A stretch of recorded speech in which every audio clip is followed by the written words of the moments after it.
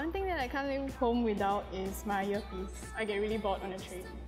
Okay, one of my goals for the band is to travel overseas and do overseas festivals. I think that would be really fun. I think the one member that can probably win a dance off is probably me because I can dance and the rest can't.